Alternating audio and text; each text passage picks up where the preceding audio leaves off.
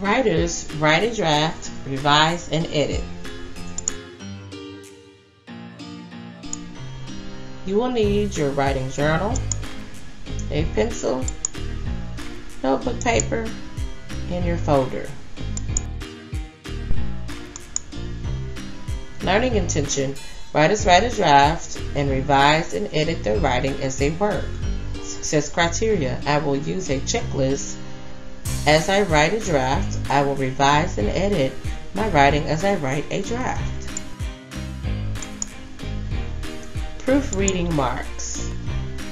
As you're writing, make sure that you're looking at the things that you should be doing in your paper, like capitalizing or lowercase letters or word spacing and so forth.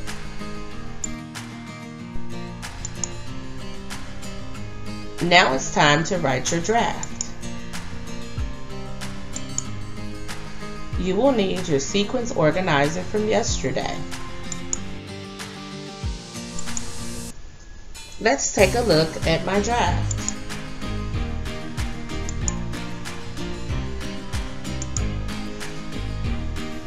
Be sure to reread your paper as you write. First, I have my date, April 16, 2021. Then I have my title, Swimming Underwater. Notice that my paragraph starts with what's called an indentation.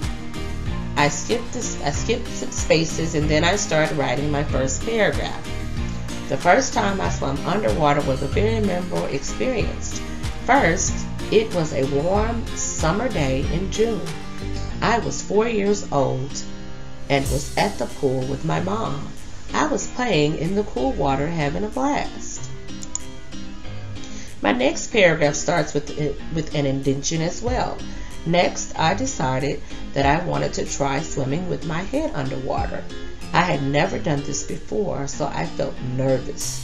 I could smell the chlorine. My next paragraph also has an indentation.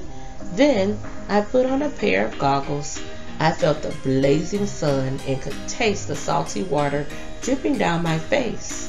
You can do it! My mom cheered for me.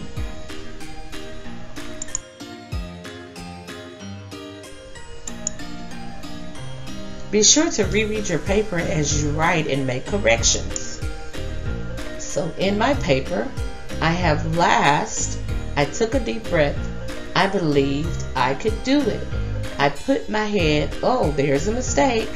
So notice what I did to my mistake underwater and held my breath.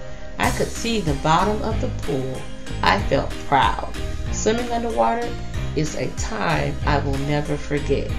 So I will go back on my paper and I would make the correction and write underwater and spell that correctly.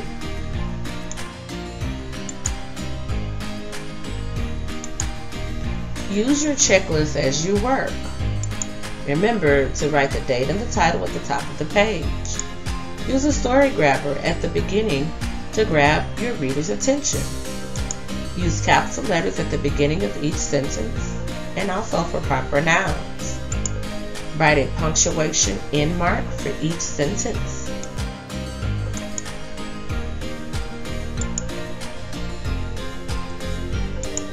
Have a beginning, middle, and end to your writing piece.